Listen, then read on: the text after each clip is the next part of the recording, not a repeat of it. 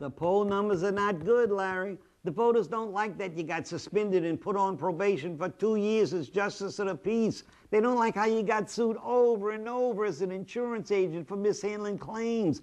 And they're not too happy that your son got busted dealing four pounds of cocaine, not to mention his dog fighting right next door to your own house that you must have known about.